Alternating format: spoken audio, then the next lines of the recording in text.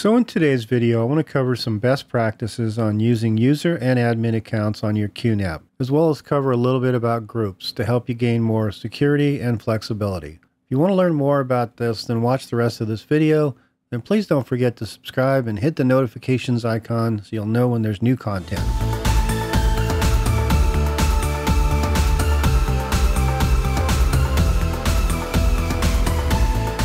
If you're running a recent version of QTS, you probably get a warning when you log in that you're using the default administrator account and that you should disable this account. Unfortunately, it's not quite that easy. They don't really provide you with a good set of instructions on how to do this. So before you do this, it's kind of important to understand the process and how to do it right. So I'm going to walk you through how to do this and mention some areas that caused me some issues the first time I did it. Once you log in with the standard default account, you're going to see this message here that says you're using the default administrator account. And if you click on it, you're taken to the create user screen. There's not a lot to fill out here, but let's go ahead and fill this out so we can kind of get an idea of what how this works. I'm going to create this new user called new admin. I'm going to put a description up here, which is kind of optional, but it helps me identify the administrators on the list. You'll see that a little bit later on and we're going to give it a password. You can optionally put an email and phone number in. And putting it in here just allows you to pick the user and, and have a, an associated email with it. So I recommend you put it in. It's just not required. So once I've filled out my description, password, and username, I need to click on the user group and click on edit. Now, by default, it assigns everybody to the everyone group However, that's not going to create an admin account. You need to make sure that you've selected the admin user group. So let's go ahead and do that. And once I'm done, it's all I have to do is hit create. So now if we look at the screen, you'll see that we've created the new user. We now have two administrators. However, I can't just go over here now and do anything. It's not going to let me do much with the old admin account. So if I tried to disable it now, it's not going to let me do it. So once you create your new admin account, you actually have to log off the old default admin account. So let's do that. Now, what I would suggest at this point is you can just log off and log back in. I might recommend that you reboot at this time if you can swing that without disrupting too much data flow. And the reason is I did have it hang up on me once and I did have to, to do with the three second back button reset to reset the credentials. Probably a good idea to reboot at this time if you can, but it's just not mandatory. For this purpose of this video, I'm just going to go ahead and log out. So let's log in with the new admin account. And when we log in, it's going to prompt us with a few things. Your data and privacy. Uh, it's going to tell us about the help center, which we don't want to see right now. We got to close all this up. Licenses available. We're going to close that up. And so we're now into the screen our new admin screen. You can see here that we're logged in with the new admin. Now that we've created and successfully logged in with the new admin, we have to do something with the default admin. And that's where this is now the part where we can actually go in and disable it. So let's go back to users. And if we go here to the standard default admin and we click on edit profile, we now have the option of disabling this account. That's something we couldn't do before. So let's go ahead and disable it click OK, and it's now disabled. So now every time we want to go in as an admin, we have to go in with our new admin account, whatever that is that you created. And again, I would make sure a couple times that you can successfully log in and out because it's going to be critical going forward. So now that we're in, we're still in the control panel, I want to talk about user groups a little bit. We click on user groups. As we saw earlier, there's only really two groups, the administrators and then everybody else. However, depending on how many people are using your NAS, you might want to consider creating one or two additional groups. And the reason is, if you look at, let's go ahead and create one, and I'm just going to call it test for now. Give it a description. What it does is it allows me to do a couple things. From this point, I can, if I've got current users um, already created, I can actually assign them to it. So let me go ahead and just put uh, user one and user two, and I can assign them to that group. So once the users are assigned, assigning permissions becomes pretty easy. The benefit of the groups is that everybody that's in that group can inherit the same permissions. So for example, if I take this group here, test, and I change the, the permissions, these are the folders I created earlier. I can change and rearrange this permission for this group as much as I want to. So for example, folder one, I can create read write. folder 2 read write, and folder 3 read write. And when I apply, it applies that to the entire group. So if I look again at who's who I've put in the group, I've got test user 1, test user 2. So if I go to shared folders and I go look at these groups, I can see that the test group has been given read write access. And if I go to folder 3, I can see the same thing.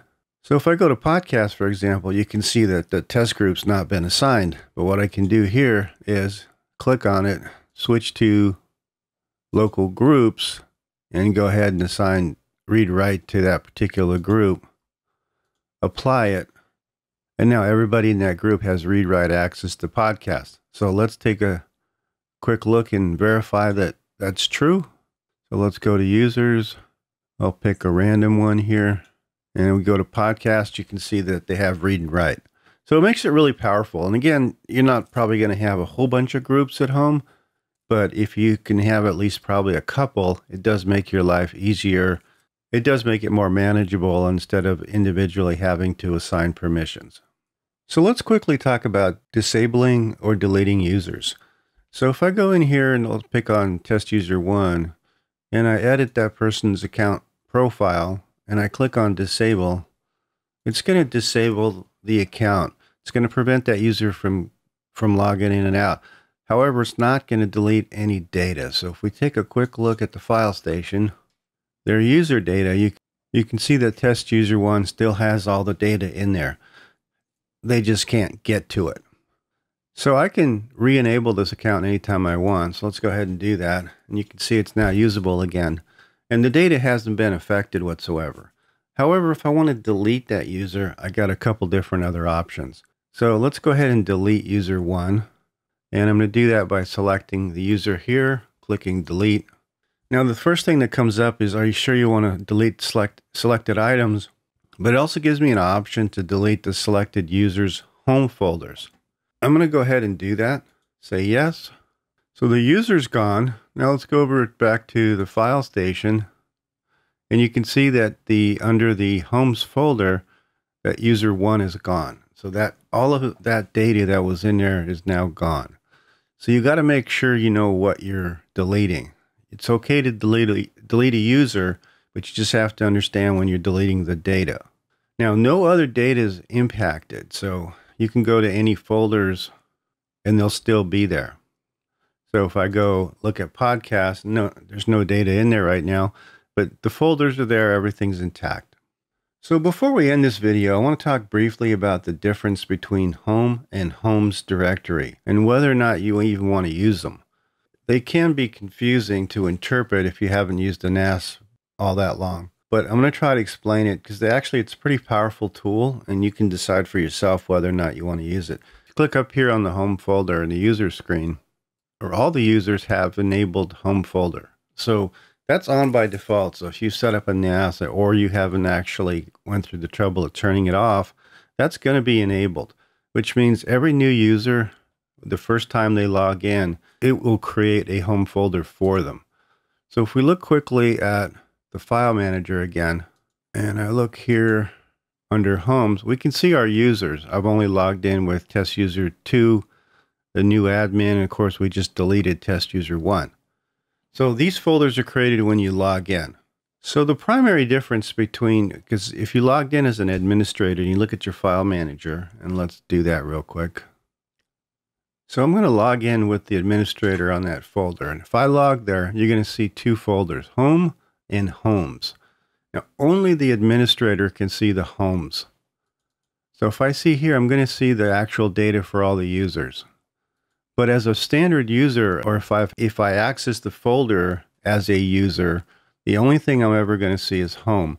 And that's where my personal data is going to go. So as a user, I'm only going to see home and I'm going to be able to put my data in and out of there at will. The average user is not going to see the home homes folder. But as an administrator, it's powerful to be able to go in there and extract the data in case the user gets their account messed up and or whatever, whatever reason you need to go in there and quickly get stuff, you can get to it as a as an administrator. So a couple other things you might want to keep in mind, and these this one's kind of important. If you look at the home folder, you'll see that there's a location here. Now, if you followed any of the protocols or best practices uh, from my previous videos, you know that I typically create different volumes on my NAS unit. And one of those volumes is typically a encrypted data. And the reason you want to think about this is because you have to understand that though the folders are password protected, you still are somewhat vulnerable if somebody was to take that NAS. So put encrypting that data is is kind of critical. But unfortunately, depending on how you have your NAS configured, your data is probably not in an encrypted folder. So if you look here, I've been I've created several volumes for my particular NAS, and one of those is an encrypted volume. So if I want to really protect my data so that if the if the drive gets if the NAS gets stolen or anything like that, you want to put those folders in an encrypted volume. You don't have to, and and I understand they're password protected, but it's really best practices to put that data in an encrypted folder. So let me show you how to do that real quick. It's very simple. Assuming you have created the encrypted volume. If you haven't, you might want to go back and consider doing that. But if I go to back to home folder, I can now switch that to any one of the volumes I've created. So in my case, I've already assigned it to the encrypted data folder. So when a user logs in, all of their home stuff is created in an encrypted volume and they don't have to worry about it. You don't have to worry about it. So the last thing I want to discuss is should you use the home folders? There's obviously a lot of pros and cons. Um, when I first started using NAS units, it the whole concept made me a little crazy, so I kind of didn't use it. I preferred to create my own folders and put the user's data in there, which you can do. You can create folders, you know, per user. You can assign permissions to it, and that's what they'll see when they log in. And a lot of times you can get a lot more creative in the naming scenarios, so it's a lot easier to to manage. And you can also create different backup schedules and so on. So there are some advantages for not using it.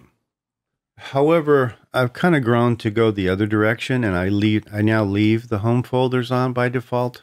It's a little more consistent throughout users and it's a lot less in terms of management. As long as you've moved the home folder into an encrypted volume, you can kind of get away with making it work. To me, it, it's now become easier because everything's centralized in one location and the entire volume is encrypted.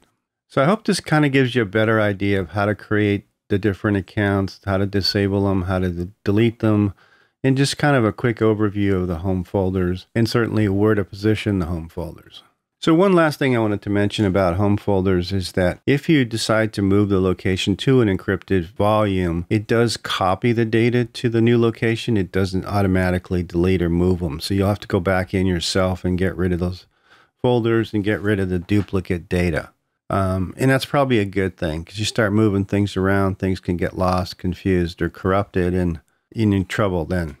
So in this particular case, you can go and change the location of the home folder to anything you want, and it's just going to create a snapshot of that. It's going to move all that data to the new location and leave the old data behind for you to clean up. So it's just something to know. Anyway, I hope this gives you a better idea of how to create admin accounts, user accounts, delete them, disable them, kind of a little bit better understanding of home folders, how to store them, where to locate them. And that's pretty much it for today's video. Please post any of the questions and comments below, and thanks for watching, and I'll see you on the next video.